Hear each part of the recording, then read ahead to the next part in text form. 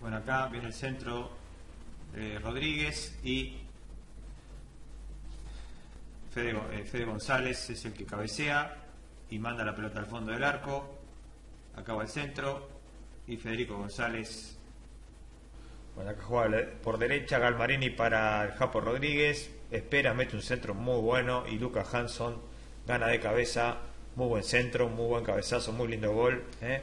La limpia bien Galmarini ahí. Ahí va el Japo Rodríguez. Mete el centro. Y Hanson muy bien. Bate al arquero. Y 2 a 0 para Tigre frente al 2.